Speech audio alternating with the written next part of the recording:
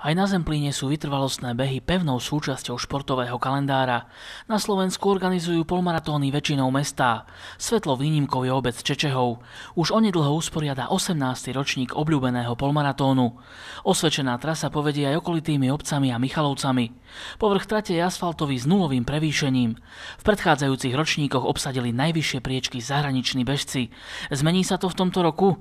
Odpoveď sa dozvieme v nedeľu 16. marca, čo je deň konania pretekov. Ich začiatok je naplánovaný na 11. hodinu. Ešte predtým sa však od 8 hodiny a 30. minúty uskutoční prezentácia účastníkov. Podrobnejšie informácie o podmienkach účasti sú aj na webovej stránke obce Čečehov.